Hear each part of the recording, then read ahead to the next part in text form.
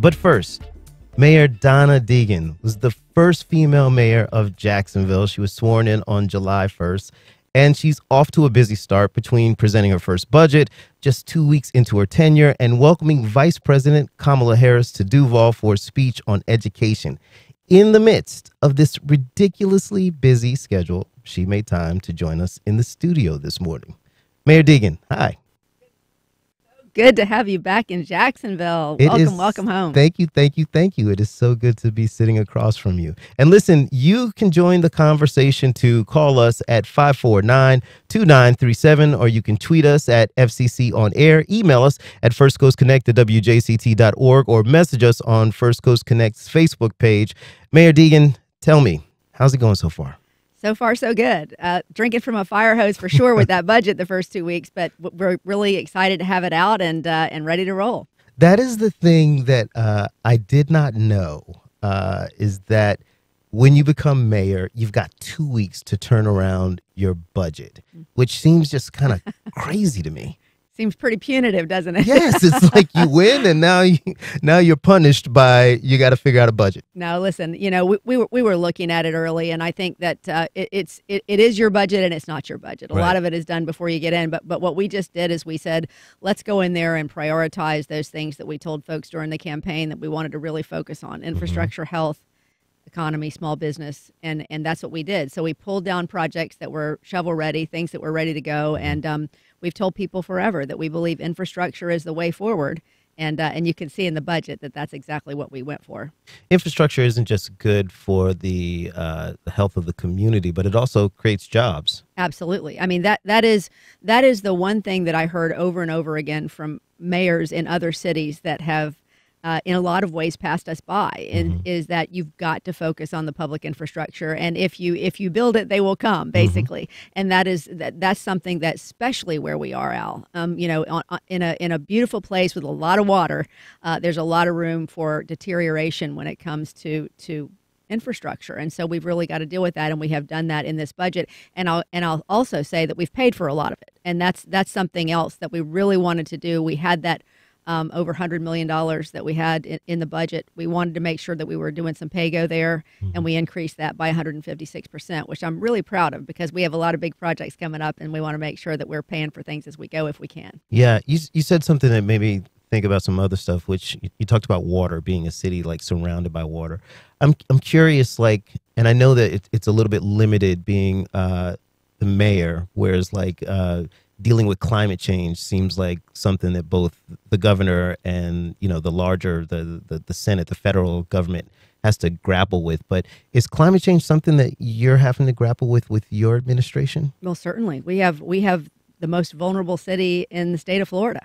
It would cost us more than any other city, given um, you know where our military bases are, given that we are on the river and on the ocean, uh, to create barriers hardening our coastline against rising tides. So it's very, very important for us to focus on resilience and to focus on climate. And and as as you can see, um, really with every year, um, we we have record heat every single year. Uh, and so it is going to be very important for us to focus heavily on the things that we can do locally um, to to both uh, mitigate, um, to to respond, but also to mitigate those those forces. I want to like go big here and like Yeah. zoom out a little bit. Sure. So we're looking eight years in the future. Mayor Donna Deegan has had two terms. What does the city look like at the end of Mayor Donna Deegan's two terms in Jacksonville? Well, we've focused heavily on infrastructure, especially in our underserved neighborhoods, and made sure that everybody has an opportunity to to to take part in that partnership of, for Jacksonville. Uh, but also, we have a very thriving and open and activated riverfront. Uh, we have uh, a lot of young people living downtown. We have uh, a lot of, a lot of uh, workforce downtown. We have a lot of housing and and and entertainment downtown. We've kept a lot of arts and culture and, and built that. Um, I think um, it is the, the picture that I see of Jacksonville is uh, that city that we were always destined to be, and we've just sort of let it um, pass us by in a lot of ways because we haven't focused on fundamentals. So to me, if we end up with a thriving downtown and neighborhoods that are all taking part in uh, in our partnership here in Jacksonville, I will I will consider that and and a healthier Jacksonville being a great legacy. Sure. I'm going to go to the phones in a little bit, but before we do, I have a big question for you. What are your thoughts around crime and safety in Jacksonville, and how do you plan to address it? Well, I said during the campaign, and we're focusing in our task forces um, on a revised, a reimagined Jacksonville journey. And I, am sure you remember the Jacksonville journey. It was mm-hmm. a program that was really highly successful in reducing violent crime um, which focuses largely on prevention and intervention and community programs, in addition to community policing um, by the sheriff's office. And so um, we're taking a very, very hard look at that. I think literacy is going to be a very big piece of that. So I have said repeatedly, and I know some people don't agree, that we we we absolutely have to have enough police officers to keep up with our population growth, um, which is pretty robust. Uh, but also, we need to focus heavily on prevention and intervention and reentry programs uh, for folks who are coming back into our society. We're going to take a call. We got Joe from Jax Beach. Joe, you're on with the mayor. How are you this morning? Oh, thank you so much, uh, uh and congratulations, Mayor Donna. Thank As you. a vegan, affordable as a vegan, affordable fruits and vegetables is very important to me. How does your budget address the food deserts? And also, thank you for acknowledging the climate crisis. And Mayor Donna, would you be willing to sign the plant plant-based treaty to address the 87% of the greenhouse gas coming from the animal slaughter industry? Thank you, Mayor Donna. Thanks, Joe. Thanks, Joe. Thank you so much for calling in. Um, one of our um, one of our committees is, is focusing heavily on on those issues, um, and I know that um, it is one of those issues that, that comes up over and over again. We do have food desert issues. Uh, we're looking at that. We've set aside uh, $20 million in the budget uh, for programs that come out of those task forces. And certainly one of those issues is going to be uh, food deserts because we want to make sure we're dealing with that. We got a question from Twitter from uh, Jags fan Brian saying, uh, uh, Brian, I wonder who your favorite football team is. I don't know. just, just, I don't know. Go Jags, uh, Brian. Go Jags. Go Jags. Uh, what can the mayor's office do to help uh, DCPS uh, as they are as they have these new standards forced upon them, uh, expanded without funding, even though they are likely unconstitutional? Well, I think we do exactly what we did uh, over the weekend or on Friday. I think we speak out about what we expect uh, to be the standard here in Jacksonville. And I've said this repeatedly throughout the entire campaign. Um, it's not a political issue. This is an issue of recognizing people's humanity. Mm-hmm. And we're going to continue to do that in Jacksonville. Um, it, it, doesn't make any sense to me uh, that we would educate our children in a way that is not honest to the history of, of slavery.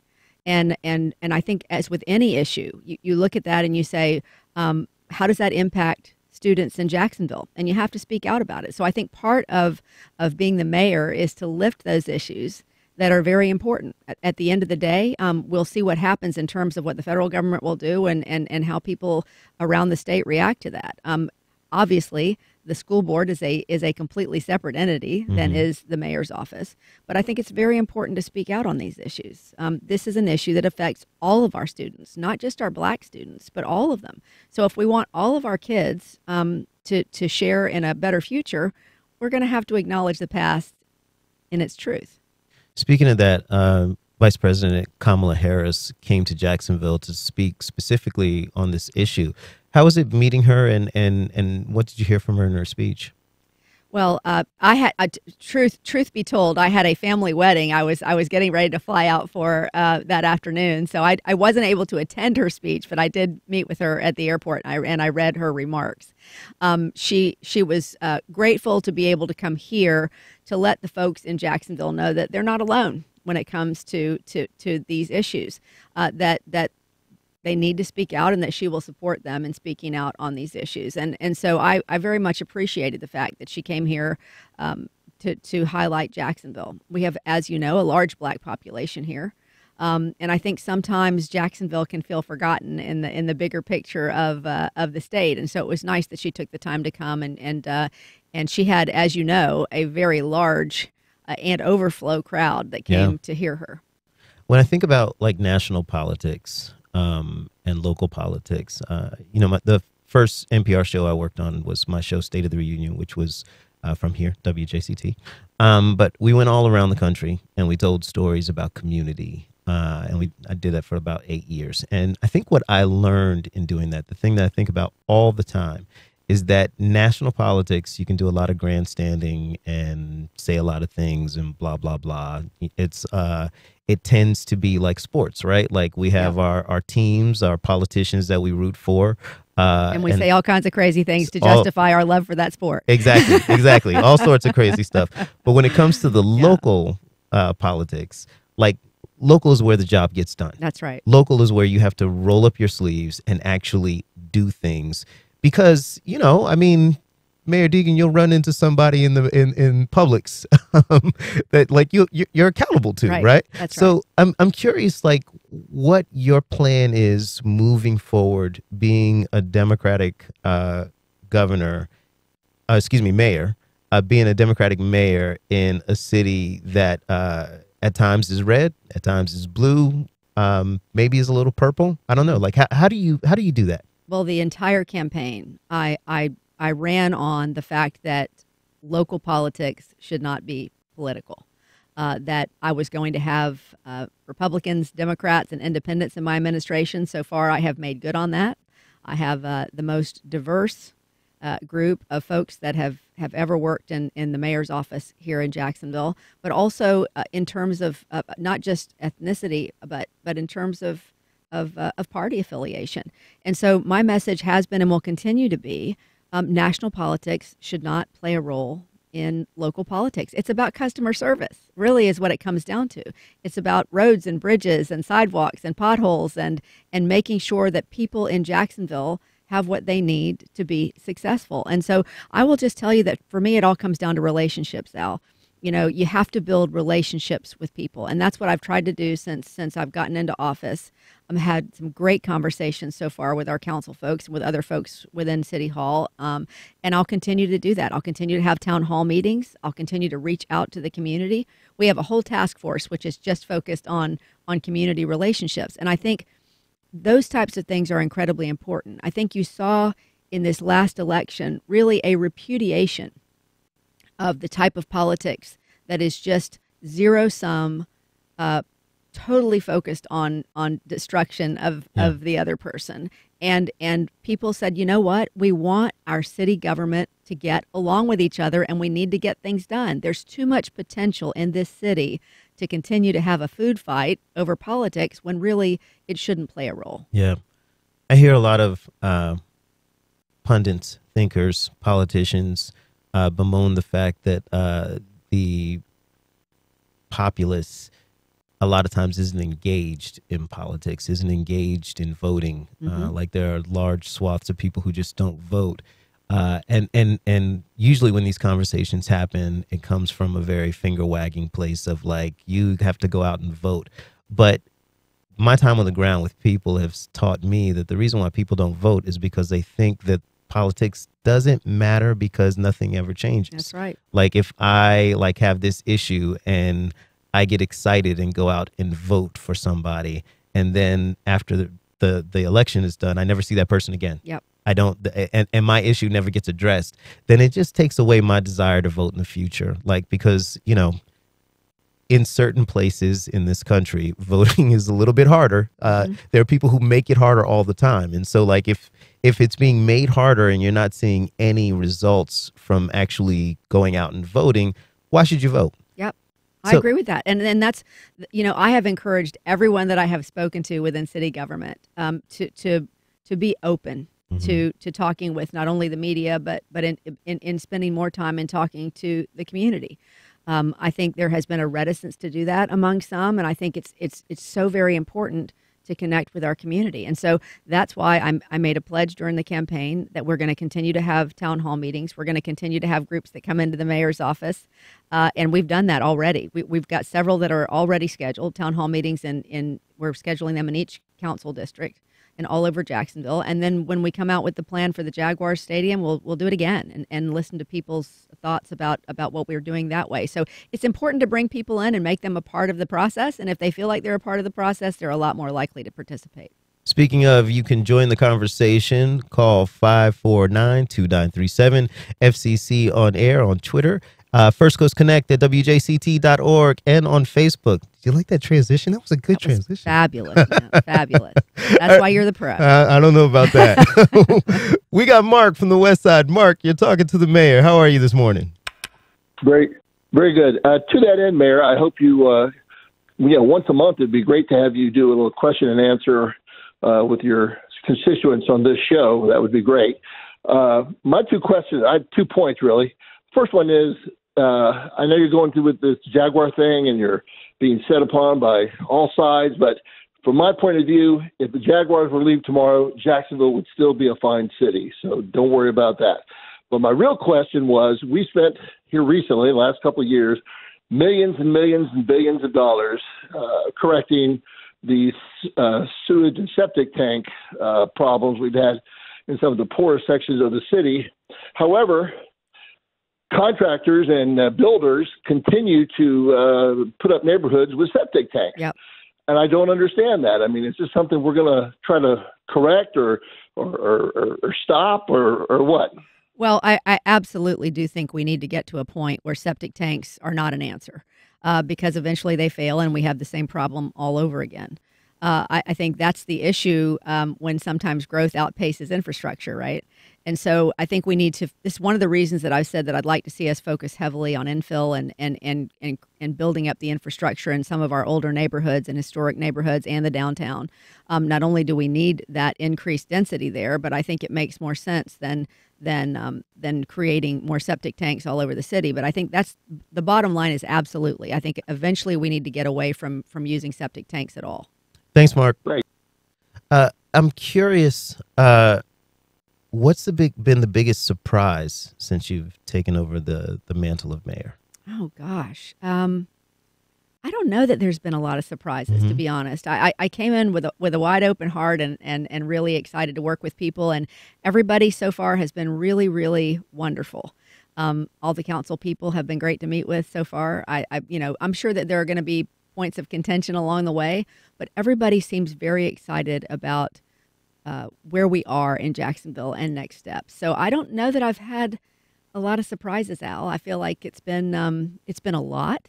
Uh, I, I wish we could change uh, the the the rate at which uh, we had to come up with a budget. You know, I think that's that that is a that is definitely a detriment and um, and something that every mayor has to deal with in the first year. But I don't I don't know that that's possible without changing the time of the election, and that's Right. fraught, right? Right. So, but beyond that, um, I've just been um, really grateful for how how smooth the transition has been.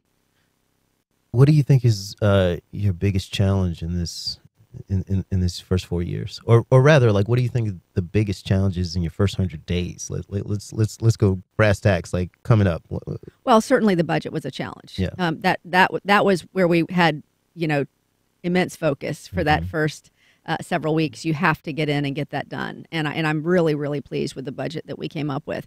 Uh, the other thing that we're really focused heavily on in this first hundred days is um, I I took. Um, I took that, that position of boards and commissions and really elevated it because one of the things I said during the campaign is we have to to diversify our boards and commissions so that they look like Jacksonville yeah, uh, and and and so that they reflect everybody across Jacksonville. So so Garrett Dennis has come into that position for me, and and he and and Parvez Ahmed, who is our our our, our new um, chief of of uh, diversity, are working hard on on taking a look at those boards and fleshing them out and making sure that we have folks in those positions that that reflect Jacksonville. That that's that's a big focus in this first hundred days. But obviously, we're going to also start start. Um, these negotiations with the Jaguars pretty soon, and that's going to take up a lot of focus here as well in the first hundred yeah. days.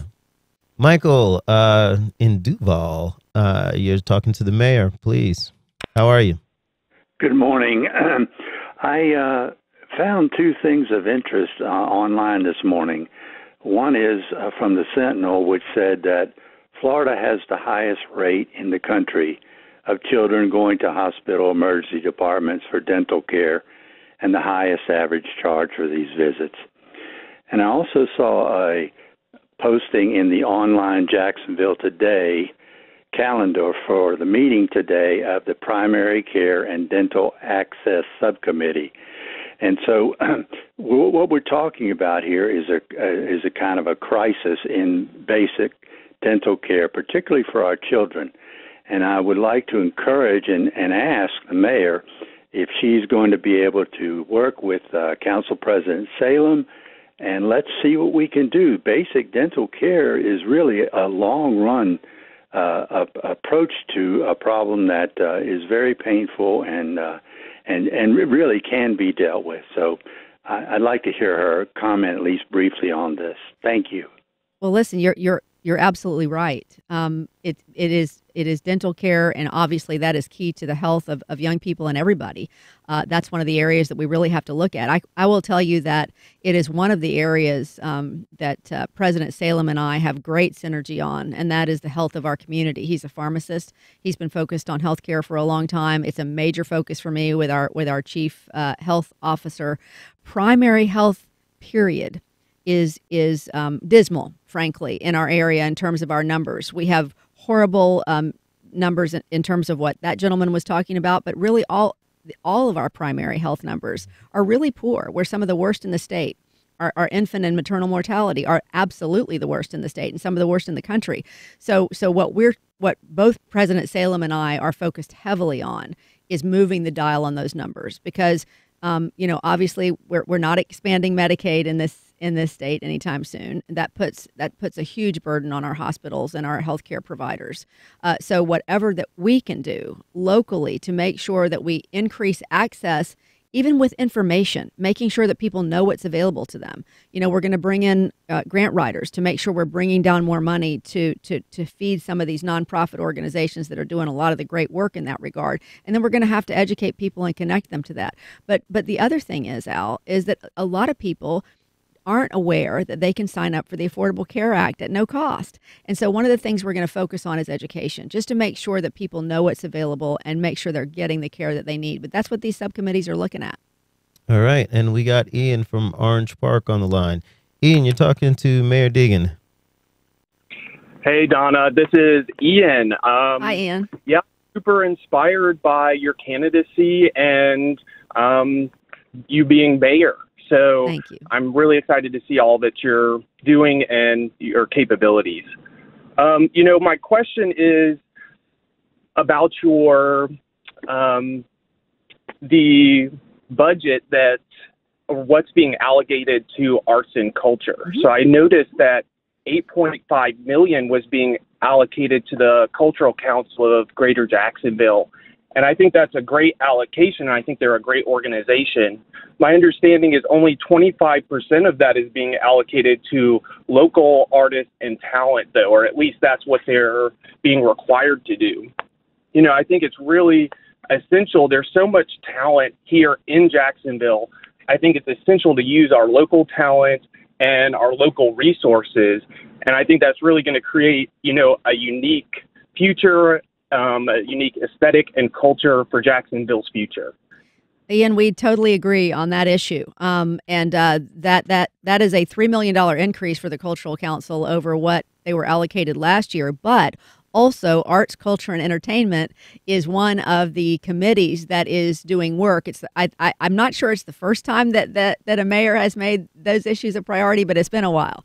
Uh, so I can I can tell you that we set aside a lot of money for whatever these committees. I believe it was $20 million we set aside to deal with the initiatives that these committees come up with. And one of the things that, that has been um, discussed over and over again. And in fact, Al and I were talking about it this morning is how do we retain our local talent? I think one of the things we really need to do is make sure that we're educating people in Jacksonville about the rich history of incredible talent we have in this in this city and the people that we we become donors to other cities with, with all of our amazing artists and entertainers, and we need to keep those folks in Jacksonville. So I can promise you that will be a, a big focus of of, uh, of this administration because we also know that it's part of having a thriving downtown and of keeping young people here. So those are going to be focuses as well. And I think if you can keep artists here, um, it really does speak to our our um, our history and and our roots here in Jacksonville. And I and I'm excited about growing that. So tough question. Okay. Uh, maybe not necessarily a tough question, okay. but like uh, a question that uh, I've found being here at WJCT that a lot of people don't want to talk about specifically statues. Okay. Um, the Confederate statues. Mm-hmm. So uh, I'm just curious what your stance is on them and uh, and the movement to bring them down. What are your thoughts? That is not a tough question for me. I've been very clear about it the entire time I've been in public life. Um, I believe if we are going to be a community that respects each other's humanity, and we are, uh, that those statues need to come down. Uh, I am not against um, putting them in a place where they can be contextualized. Uh, I'm not trying to to remove history. I, I just believe that if you have uh, these monuments to to slavery, really, uh, that are in places where people have to see them every day in communities where they are just truly hurtful and offensive and, and do deny people's humanity. I just don't think that is something that is good for the city of Jacksonville. Every business in this city, pretty much, every big business especially, that tries to recruit people into Jacksonville will tell you uh, businesses by and large don't want to move to a city that is still fighting the Civil War. Yeah. So we need to take those things down, and and uh, and that will be a focus of my administration. I know what we're hearing out of Tallahassee. I'm sincerely hoping that that, that bill meets the same fate that it met last year because it's a bad bill, Mm-hmm. um, and and it frankly once again takes away local government's ability to make their own decisions about what they want to do in their own cities. So so I would sincerely hope that that um, the people of Jacksonville would be supportive of getting those monuments down. There's a, a question from Jane on Facebook. Uh, why not set up some partnerships with universities, medical schools, and, and medical schools in the area to provide care to children from dental, mental health, and medical care? Indianapolis, uh, with the Chamber of Commerce, uh, Commerce, excuse me, set up uh, such a program, matching resources with the needs of the community. Sadly, the program ended under Governor Pence, but they worked for many decades. Who is this from? This is from uh, Jane. Jane, uh, listen, I, I, would love for you to attend one of our meetings on these issues because uh, I will say that you know uh, for the first time in eight years we actually attended the um, the the governor's conference. Um, not governor's conference, the mayor's conference. See, you got me going there. Uh, the mayor's conference over in. Uh, think about it. yeah, no, no, no, no chance, Al, no chance. Um, uh, the mayor's conference that was that was recently in Ohio, and um, and and you get your greatest ideas from what people have had success with in other cities.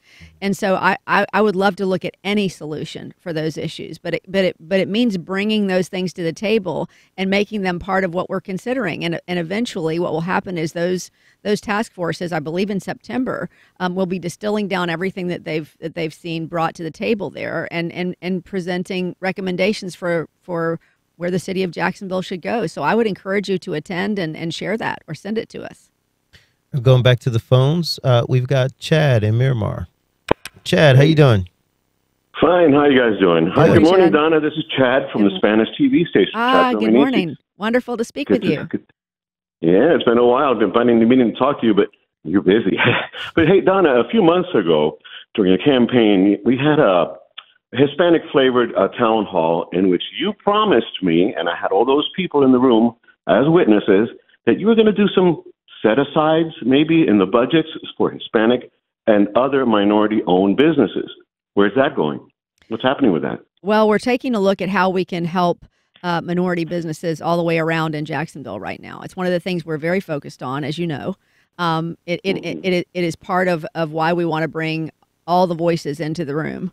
Uh, and I think it's going to be very important to have representation there. But but we're very focused on that. There are certain things that we that we have to to to take a look at legally in terms of what we can do. Uh, but at the end of the day, um, I think that that we, when we have more diverse voices that are on those boards, when we have more diverse voices that are part of the process, we're going to cre- come up with creative solutions. But one of the things we are extremely focused on is making Jacksonville the small business capital of the Southeast. And that includes uh, Hispanic businesses. We want to make sure that we are um, that we're lifting those businesses. And, and part of that, as we talked about before, um, comes with lifting the work of some of those businesses. And we'll continue to do that. This is, we're, we're, we're three weeks in. Uh, so give us a little bit of time to, to get those those things in place. But we are working on it hard, and I have not forgotten about that at all. Good, good. But I do want to remind you, as in all, mostly all communities, we need to be kind of reached out. Most Hispanics here don't know what opportunities might exist for them. So I would hope that part of what you do. In fact, uh, a couple of weeks ago, I went to one of the meetings. One of your committees for uh, for local venues and art uh, and concerts and whatever. They were looking for information. I hope you do the same thing for Hispanic businesses, where you want our input as to what we need and what we could use. Absolutely want your input. And again, I, I hope that you are taking part in in some of these meetings. There there there is time in every single one of these task force meetings for public comment. So uh, either you can take part as a member of the of the task force, or you can take part as a, as a member of the public. But the more we get people involved in these task forces and community meetings, and you know, and town halls, um, those are all things that are going to be helpful. But but yes, that outreach will continue. Thanks, Chad. We've got Emily on Riverside in Riverside. Emily, how you doing? I'm doing great. How are you today? Good, good. You're talking to the mayor. Go ahead. Hi, uh, Donna Deegan. I just had a couple questions. How does someone get involved with um, this transition process, and then again after, you know, we have those reports in the aftermath of that? Well, I'm going to forget the, the website now, but uh, I think it was uh, something like Transition 2023 uh, at coj.net. I believe that's the uh, that's the, the email address to, to get involved there. But you can always uh, you can always call the mayor's office too, and we'll be glad to give you information on that. There there are there, there are several different transition committees. There are seven different committees that you can get involved in, and then like I said, with every one of them, there is public input. Uh, and then what we'll do, we'll we'll come out with what the top recommendations are, and then those will be the focus of of, of the town halls that we have uh, that are coming up. So there'll be all kinds of opportunities all over Jacksonville for you to connect and to share your your um, your thoughts. Thank you. Thanks so much for calling in. So we got two minutes left, and I just want to go to maybe what might be the biggest challenge of your first four years: the Jaguars, the stadium, mm-hmm. Lot J. Um, what are your thoughts about all of that? Well, as I have said many times. I think the Jaguars are, are really a part of the fabric of this community. I've been going to those games for a long time. I was on the set the night that we got the Jaguars. That, I, I remember that actually. I mean, what, remember what a what an amazing oh my god can do moment that was yes. for Jacksonville. We, you know, we, we talked earlier about how sometimes sometimes in this community we can we can be you know yep we can be sort of hard on ourselves. Yep. We don't ever believe good things are going to happen, yep. right? And that was one of those times when we really just wow, it was an amazing thing. And I think that that that um, you know, it, it is important for us to continue that partnership. Mm-hmm. I think the Jaguars are great for Jacksonville, and I think they they create a, an, an, enormous amount of community pride. What I suggested to them um, a year ago was that that they make this not only just about a stadium, but about economic development, that they continue to try to look at ways to help our communities that have often been left behind. And I think there's elements of that in this plan. I think what we're going to see going forward is just where does that settle? Where does that settle in? How much public money are we going to need to commit?